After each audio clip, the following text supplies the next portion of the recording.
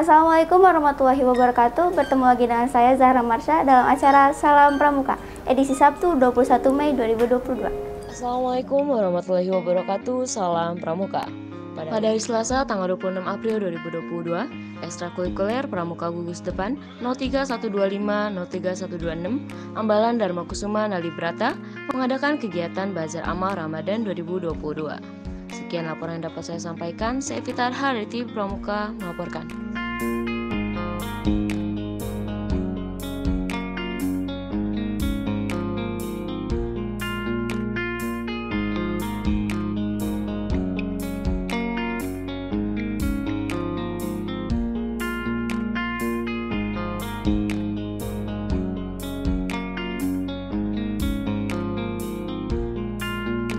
Assalamualaikum warahmatullahi wabarakatuh. Salam Pramuka. Pada hari Rabu, 11 April 2022, Komisi Orgakum mengadakan rapat yang dihadiri oleh Ketua Komisi, Sekretaris Komisi, dan andalan Komisi Organisasi Hukum Kuarcap Kota Bogor. Dalam rakor ini, dibahas persiapan program yang akan dilaksanakan di bulan Mei tahun 2022, antara lain akreditasi gugus depan, kegiatan advokasi hukum, persiapan rapat kerja daerah Gerakan Pramuka Provinsi Jawa Barat. Sekian laporan yang dapat saya sampaikan. Saya Sarah Yulina dari TV Pramuka melaporkan. Kegiatan rapat kerja Pramuka Jawa Barat tahun 2022 ini bertemakan menuju Pramuka Jabar Juara. Dengan moto Satiaku Kudarmakan, Darmaku Kubaktikan. Waktu dan tempat pelaksanaan pelaksanaan Rakerda 2022 dilaksanakan secara hybrid pada hari ini Selasa 17 Mei 2022 bertempat di Sekretariat Kuartir Daerah Jawa Barat. Dengan peserta terdiri dari unsur kuartir cabang dan unsur kuartir daerah. Kakak-kakak yang saya banggakan, eh, rapat kerja itu adalah cara kita menyiapkan sebuah perencanaan satu tahun ke depan dengan baik. Masa depan yang baik datang dari perencanaan yang baik. Masa depan yang gagal datang dari perencanaan yang asal-asalan. Jangan sampai kita masuk golongan yang rugi, yaitu terlihat sibuk tapi tidak memberikan dampak.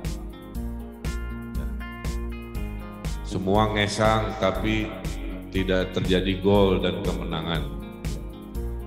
Nah itu kelompok yang rugi. Oleh karena itu rapat kerja ini harus disusun dengan baik.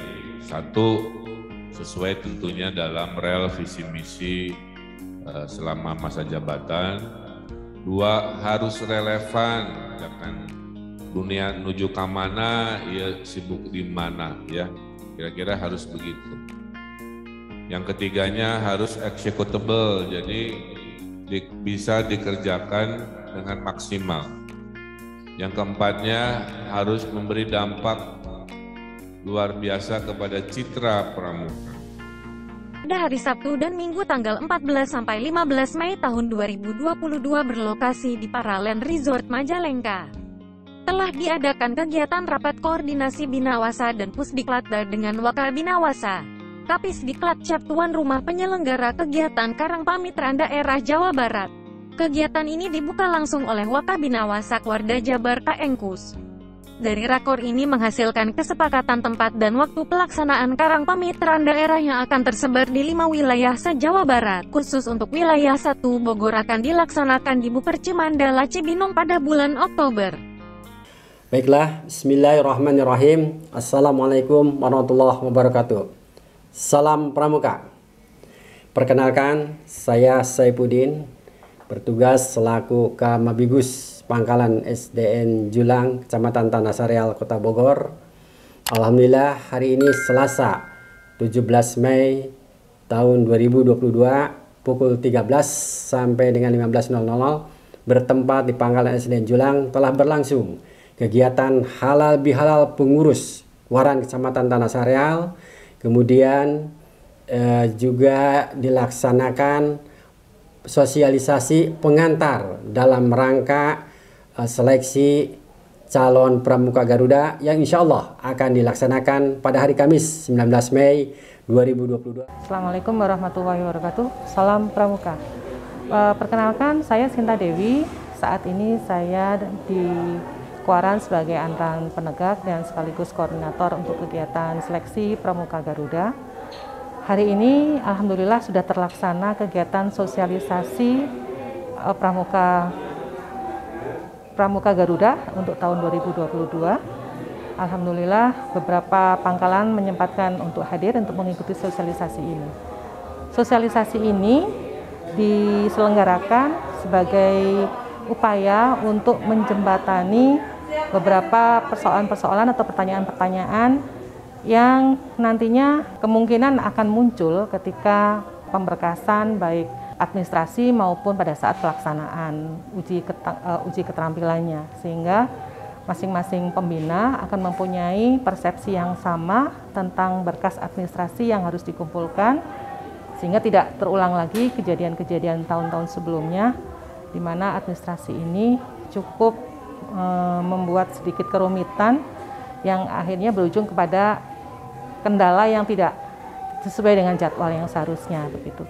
Sehingga alhamdulillah hari ini bisa diselenggarakan. Kami berharap kegiatan ini bisa betul-betul e, menjadi selain silaturahmi pertemuan untuk pembina pramuka di tanah Sareal juga menjadi salah satu sarana untuk mengurangi uh, persepsi yang salah itu tadi. Demikian, mudah-mudahan uh, ini bisa berfaedah acara kegiatan kita hari ini dan bisa menjadi solusi bagi budep-budep di pangkalan masing-masing. Terima kasih. Bila taufiq. Assalamualaikum warahmatullahi wabarakatuh. Salam Pramuka.